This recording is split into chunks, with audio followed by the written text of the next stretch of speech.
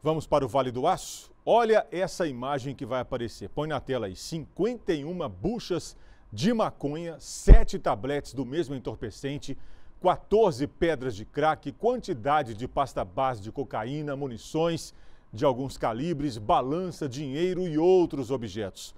Tudo isso, segundo a Polícia Militar, estava com dois homens no bairro Planalto, em Ipatinga, no Vale do Aço.